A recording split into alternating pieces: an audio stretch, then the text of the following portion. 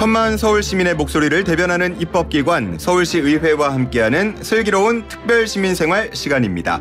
자 오늘은 서울시 의회 김현기 의장과 함께하겠습니다. 의장님 안녕하십니까? 안녕하세요. 반갑습니다. 네, 어 이게 얼마 만이죠? 4개월쯤 된 것 같습니다. 예, 제가 정확한 날짜는 기억 안 나는데 2023년 슬기로운 라디오 생활 이 스튜디오에 첫 방문해 주신 손님으로 기억을 하고 있거든요. 제가 영광이었습니다. 야, 또 이렇게 찾아주셔서 상당히 감사하다는 말씀 드리겠고요. 우리 청취자분들께 오랜만에 또 인사 한번 부탁드립니다. YTN 라디오 청취자 여러분 그리고 천만 서울 시민 여러분 4개월 만에 다시 인사드리게 되었습니다. 그동안 서울시의회는 여러분의 대표 기관으로서 최선을 다하고 있다는 말씀을 드리겠습니다. 네, 정말로 최선을 다하고 계셨는지 잠시 후에 제가 한번 질문을 드려보도록 하겠고, 어, 얼마 전이었어요. 그 11대 의회 개원 이후 처음으로 맞는 4.19였는데, 4.19 혁명 기념일 때 의장님도 민주묘지 참배하셨더라고요. 제가 이틀 전에 음. 먼저 가서 참배를 했습니다. 어, 어떤 분들 함께 가셨습니까? 아, 당연히 저희 서울시의회 동료 의원들과 함께 음. 했고요. 어, 한 20명과 같이 갔었습니다. 어, 그러면 가서 이렇게, 음, 방명록에 뭐 글귀도 적고 오고 그러셨습니까? 그렇습니다. 어, 방명록에는 4.19 민주혁명의 이념을 계승한다. 계승한다. 이게 헌법 전문에 나오는 음. 문구거든요. 예. 그렇게 썼고요. 음. 4.19 이제 국립묘지는 저하고는 또 각별한 인연이 어, 있습니다. 어 떤 인연이 있습니까? 제가 고등학교 1학년 때 담임 선생님이 예. 4.19 의거 그때는 의거라고 했습니다. 음. 4.19 혁명의 당사자입니다. 아. 절 시간만 나면 저희들을 데리고 아. 참배를 갔었어요. 아, 그러셨군요. 그래서 그때부터 아, 4.19 혁명의 그 정신, 음. 어, 시대적 배경 잘 이해하고 있었죠. 아, 그러셨습니다. 네. 자, 지금 회기 중이시죠? 네, 임시회 회기 중입니다. 어, 상당히 바쁠 것 같은데. 어, 분주하게 지내고 있고요. 예. 특히 우리 동료 의원들이 각 상임위원회에서 열심히 활동하고 있죠. 그렇습니까? 어, 어떻게 협치는 좀 잘 되고 있나요? 좀 비교적 조용한 것 같은데요. 그게 이제 협치 잘 되고 있다는 증거죠. 그렇습니까? 조금 전에 질문 주 나중에 질문 주시면 그 협치에 예. 어떤 내용을 하나 말씀드릴까 합니다. 아, 그렇습니까? 알겠습니다. 잠시 후에 또 들려주시면 좋겠고. 자, 이제 몇 달 뒤면, 한두 달 뒤면은 이제 1년이 다 돼갑니다. 음, 10개월 정도 지났는데 지금까지 성과가 있다면 혹시 어떤 걸 꼽으실 수 있겠습니까? 뭐 스스로 자랑한다는 게 좀 모양새가 안 좋지만 예. 어, 나름의 성과를 거뒀다고 자평하고 싶고요. 음. 어, 특히 시민의 세금인 예산을 제대로 집행할 수 있도록 음, 어, 집행기관인 서울시청과 서울교육청에 엄격한 기준과 잣대로 예. 예. 산 심의를 했다. 음. 이것이 가장 큰 평가라고 할 수 있고요. 예. 그 외에도 지난번에도 말씀드렸습니다마는 교통방송 지원 조례 음. 폐지, 예. 마을 공동체 활성화 지원 조례 폐지, 음. 또 서울시립대학이나 어, 서울사회 서비스원에 비로 불급한 예산을 삭감한 것 이런 것은 굉장히 저희들은 잘했다 자평하고 음. 싶습니다. 그때 말씀해 주셨던 것처럼 여전히 마음은 초선처럼 또 능력은 사선처럼 하고 계신지요? 그렇습니다. 그 마음이 변하면 안 되겠죠. 시민과의 약속이었습니다. 알겠습니다. 요즘에 그 전세 사기 문제가요. 워낙 또 크게 문제가 되고 있습니다. 서울시 의회 측에서도 좀 관심 갖고 지켜보고 계실 것 같은데 어떤 대비를 하고 계세요? 의회 차원에서도 했고요. 또 다수당에는 국민의힘 측안에서도 저와 함께 예. 어, 대책 마련을 검토했습니다. 음. 전세 사기 피해 예방과 지원 대책과 관련해서 예. 어, 서울시의 국민의힘에는 약자와의 동행 특위라는 게 구성이 되어 있어요. 음, 예. 그래서 그 특위에서 어제 그저께 논의를 했고 예. 소위 삼종 조례를 삼종 준비하고 있고요. 어. 이번 회기에 처리할 계획입니다. 삼종 조례라 그러면 어떤 것들? 첫째는 주거 기본 조례, 그다음에 청년 주거 기본 조례, 또 하나는 임대차 보호 조례를 제정하는 음. 그러니까 개정 두 건, 제정 한 건을 준비하고 있고 예. 어, 이것은 준비는 국민의힘 측에서 했습니다마는 어, 민주당하고 협의해서 이번 회기 내에 처리할 수 있도록 음. 어제 논의를 종결했습니다. 어. 그러면 앞으로 똑같은 문제가 반복되는 걸 막아주는 내용일 것 같은데 혹시 지금 피해자분들을 위한 그런 대안 대책이나 대안도 논의가 되나요? 이 전세 사기 피해 예방은 근본적으로 법률을 개정해 줘야 하는 음. 사항입니다. 예. 우리 서울시 의회는 법률에 근거해서 조례를 만드는 입법 기관이고요. 음. 그래서 한계가 있습니다만 예. 첫째는 임차 보증금을 이자를 지금 지원하고 있는데 더 확대하겠다. 아, 예. 청년들에게 음. 또 전월세 종합 통합 지원센터를 이제 만들어서 음. 완서도로 금융과 법률 지원을 해드리겠다. 네. 또 전세 가율 지역별로 전세 가율이 조금씩 다릅니다. 네네. 그래서 민간 부동산 앱을 통해서 공개를 해드리겠다. 음. 중요한 정보 지원이 주된 내용으로 음. 이루어지고 있습니다. 알겠습니다. 정말 뭐 피해자분들은 상황이 좀 빨리 나아졌으면 좋겠고요. 이런 문제가 다시는 반복되지 않도록 잘 점검을 해 주시기를 부탁드리겠습니다. 결론을 말씀드리면 예. 몇년 전에 국회에서 부동산 임대차 3법을 좀 통과시켰는데 예, 예. 상당히 무리했다는 평가가 있습니다. 음. 그러한 제도가 빨리 보완이 돼야 예. 현장에서도 안정화되지 않겠나 네. 이렇게 예측하고 있습니다. 네, 법적인 또 부분도 함께 다뤄줘야 할 것 같고요. 네. 어, 서울시 살림 조금 더 여쭤보면요. 그 지하철 버스 요금 300원 올리는 조건으로 대중교통 요금 조정안을 통과시킨 바가 있습니다. 네. 지금 이 부분은 어떻게 앞으로 또 논의가 더 전개가 되는 건가요? 지난 2월 임시회 때 집행기관인 서울시청이 제출한 그 요금 네. 인상안을 심의 의결했고요. 음. 어, 단서를 달기를 하반기에 인상을 한 하반기에. 것이 좋겠다. 예. 이렇게 단서를 달아서 통과시켰습니다. 음. 그 내용은 잘 알고 계시다시피 예. 지하철 요금 300원 인상안은 아닙니다. 음. 현행 지하철 요금은 원가의 50%에도 미치지 못하고 있습니다. 음. 또 8년 동안 인상을 동결했습니다. 예. 300원을 인상해도 원가의 70% 정도 미치 다 도달할 수 있습니다. 여전히 적자 지하철 운영이라는 것이죠. 예. 그러나 시민 또 서민 경제에 미치는 부담을 고려해서 최소한의 인상안을 통과시켰고 음. 시행도 하반기에 미뤄놨다. 음. 이렇게 설명드릴 수 있습니다. 네. 뭐 다른 게 다 그대로인 상황에서 이런 적자를 줄이기 위해서 요금을 올린다. 그러면은 많은 분들께서 괜찮다고 하실 텐데 지금 너무 이것저것 다 오르니까 부담을 느끼시는 분들도 적진 않은 것 같아요. 당연히 부담을 느끼죠. 예. 따라서 지하철 요금 또 대중교통 요금 인상안은 능사는 아닙니다만은 음.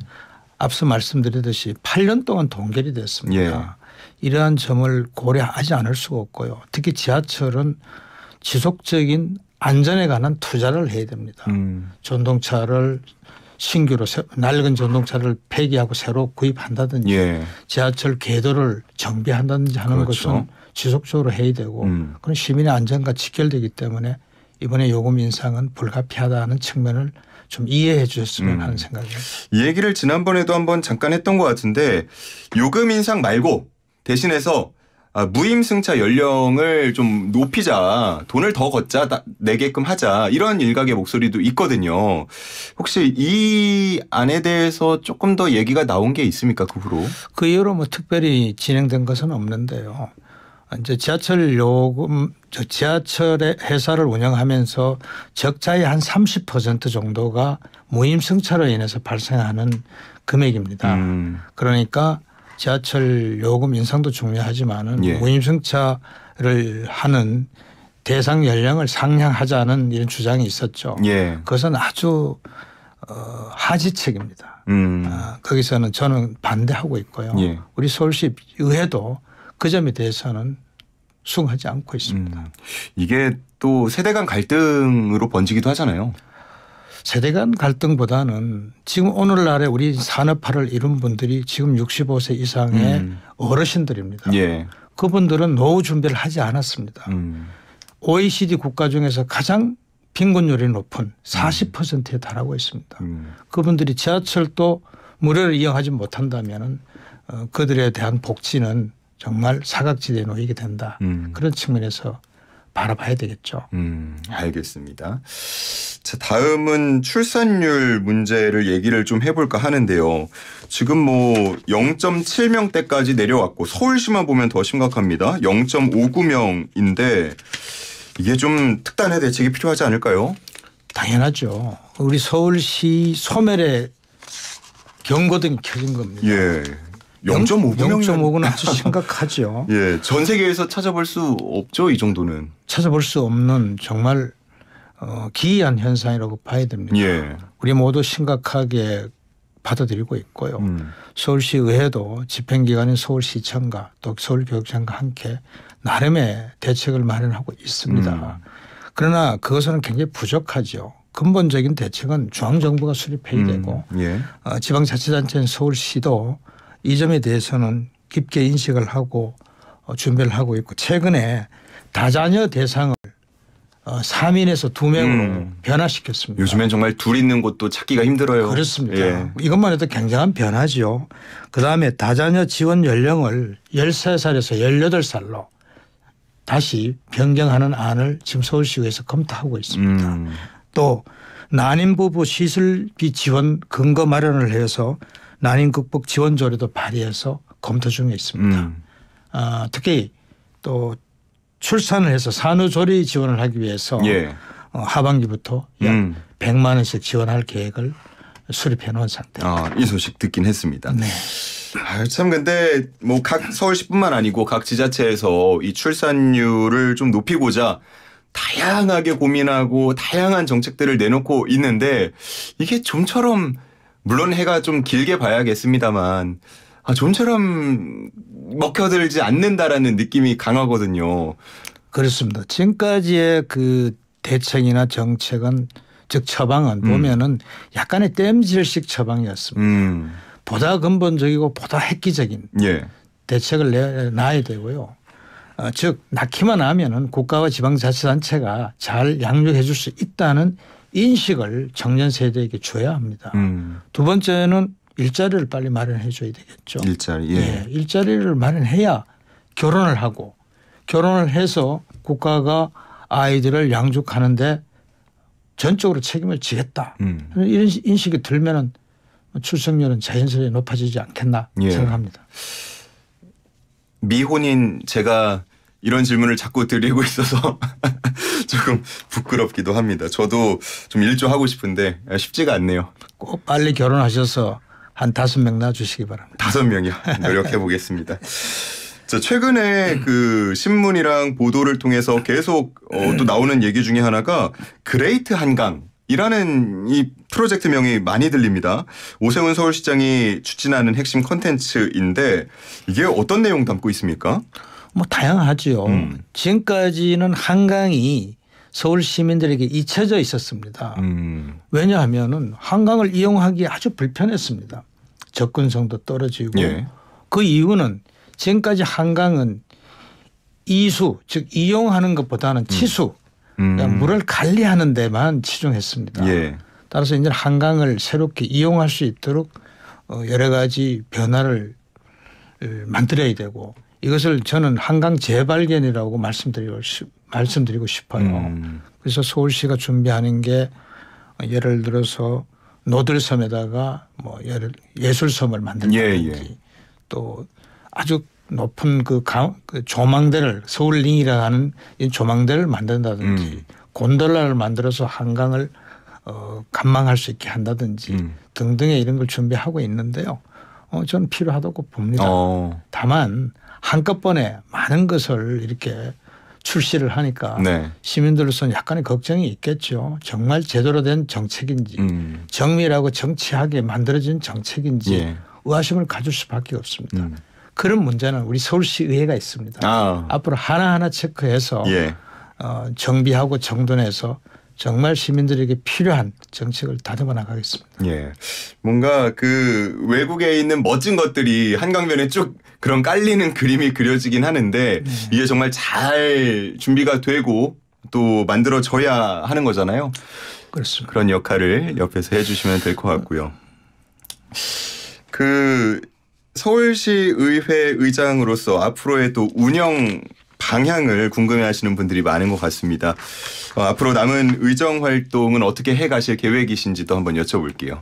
의회의 본연의 기능은 집행기관을 견제하고 감시하는 기능입니다. 지난 10개월 동안 거기에 치중을 했고요. 특히 의회를 바로 세워서 시민들이 의회를 사랑하고 신뢰하는 어, 기간으로 만들려고 노력했습니다. 음. 그것이 대표적으로 삼불 정책을 마련했습니다. 예. 즉 시민의 세금으로 이루어진 예산을 삼불 원칙에 입각해서 심의하고 검토하겠다는 것입니다. 첫째는 불효불급한 예산과 정책. 음. 두 번째는 목적이 불분명한 예산과 정책. 음. 세 번째는 효과가 불투명한 예산과 정책. 이 원칙을 대입해서 철저하게 예산을 심의했고 정책을 어, 심의했습니다. 그 결과 많은 예산을 그 낭비성 요인이 있는 예산을 어, 정비를 했고요. 예. 그와 동시에 정책 조례도 많이 개폐를 했다는 말씀을 드리겠습니다. 알겠습니다. 자, 뭐 이렇게 말씀을 해주시니까 믿음이 가고요. 회기도 마무리 잘 됐으면 좋겠다는 생각이 듭니다. 자, 우리 의장님께 좀 개인적으로 궁금한 질문 좀 드려볼게요. 네. 앞서서 뭐 마음은 초선처럼 또 능력은 사선처럼 이런 말씀도 해주시고 했는데 사선쯤 되면은 정치가 좀 쉬워집니까? 절대 그렇지 않습니다. 아, 보는 시각이 조금씩 달라지죠. 음. 초선이 보는 시각과 사선인 의장이 보는 시각은 음. 아무래도 다를 수밖에 없고 예. 좀, 좀 매람된 얘기지만 사선은 좀 사선쯤 되면 좀 큰 틀에서 볼 수 있는 어. 어, 시야가 확보가 됩니다. 따라서 하나도 쉬운 것은 없습니다. 아, 결코 쉽진 않다. 네. 알겠습니다.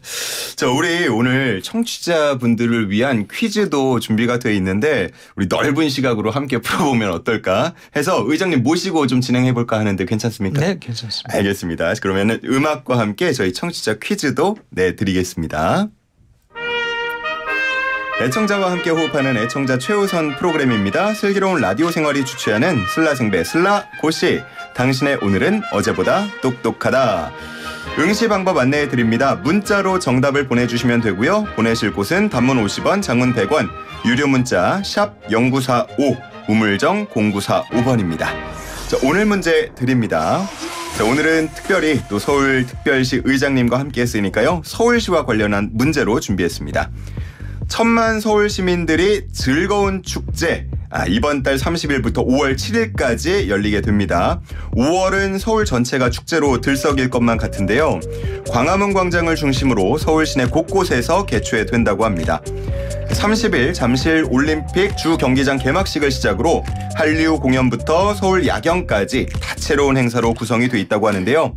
특히나 광화문 메인 행사장에는 welcome gate가 있고요. 인기 캐릭터인 핑크색 벨리곰 또 포토존이 있습니다.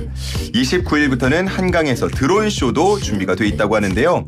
이렇게 서울의 문화부터 관광, 쇼핑까지 다채로운 매력을 뽐낼 이 행사의 이름을 맞춰 주시기 바랍니다. 1번 서울 페스타. 2번 서울 파스타. 3번 서울 랍스타. 4번 서울 슈퍼스타 김영기. 1번 서울 페스타. 2번 서울 파스타. 3번 서울 랍스타. 4번 서울 슈퍼스타 김현기입니다. 정답 아시는 분은 단문 50원, 장문 100원, 샵 0945로 보내주시면 되겠고요. 우리 의장님 갑자기 본인 이름이 나와서 좀 당황하셨겠습니다만 어, 행사 소개 간략하게 해주시고 힌트도 하나 주시면 좋을 것 같아요. 어, 서, 어, 우리가 축제라고 하죠. 예. 그 축제의 영문 표기를 생각하시면은 네. 어, 힌트가 될 것 같고. 아 저는 그 엄정화 씨 노래 생각나네요. 그렇죠. 나나나나나나나나 그 네. 아마 예. 생- 예, 떠올리시면 좋을 것 같습니다. 어, 코로나 3년 동안 우리 서울도 많이 침체했고 음. 특히 시민들의 문화생활도 많이 어려우신 환경이었습니다. 이번에 코로나가 물러가고 나서 서울시청이 서울시가 아주 알차고 뭐라 그럴까요? 아주 잘 준비된 음. 준비를 축제를 준비했습니다. 네. 그래서 시민 여러분께서 많이 즐기시고 많이 참여하시고 또 부족한 게 있으면 많은 의견 내주시기 바랍니다. 알겠습니다. 자, 보기만 다시 한번 드리겠습니다. 1번 서울 페스타, 2번 서울 파스타, 3번 서울 랍스타, 4번 서울 슈퍼스타 김현기입니다. 정답 아시는 분은 단문 50원, 장문 100원, 샵 0945로 보내주시면 감사하겠습니다. 자, 의장님, 뭐, 의장으로 데뷔하신 게 7월 3일 맞습니까? 7월 4일부터 7월 4일. 네. 예, 곧 있으면 이제 1주년이 될 텐데 그때쯤 한번 또 방문해 주셔야죠. 저를 불러주시면 예. 언제든지 서울시 의회가 한 역할을 음. 시민들에게 보고드리겠습니다. 좋습니다. 뭐 마무리 인사는 지금 안 해도 될 것 같고요. 또 오실 거니까 오늘은 1주년이 되는 그 7월 4일까지 서울시 의회 열심히 일하겠다는 다짐 그리고 각오를 끝으로 인사 나누도록 하겠습니다. 네, 서울 시민 여러분 그리고 슬기로운 라디오 생활 청취자 여러분, 저도 슬기로운 라디오 생활 청취하는 애청자입니다. 여러분들 늘 많이 들어주시고요. 어, 서울시 의회는 지금 회기 중에 있습니다. 다양한 안건 처리를 위해서 준비하고 있고요. 어, 특히 이제 6월이 되면은 작년도 집행기관인 서울시와 서울교육청이 쓴 예산을 결산합니다. 아, 아주 알차게 결산을 해서 어, 시민이 내신 세금이 한 푼도 어, 새지 않도록 철저하게 점검하고 어, 알차게 준비하겠습니다. 네. 감사합니다. 우리 7874님은 어, 저는 수원 시민인데 축제 때는 서울로 놀러 갈게요. 이렇게 말씀도 해 주시네요. 아, 서울 축제는 전국 축제입니다. 음. 아, 그렇기 때문에 서- 어느 시도에 계신 분이라도 와서 즐기시면 대환영입니다. 네, 정말 뭐 즐거운 어, 서울 즐거운 대한민국이 됐으면 좋겠습니다. 자, 오늘 말씀은 여기서 정리하겠습니다. 고맙습니다. 감사합니다. 지금까지 김영기 서울시 의회 의장이었습니다.